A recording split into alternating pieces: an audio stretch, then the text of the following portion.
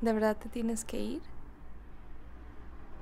¿No te puedes quedar tan siquiera otro ratito?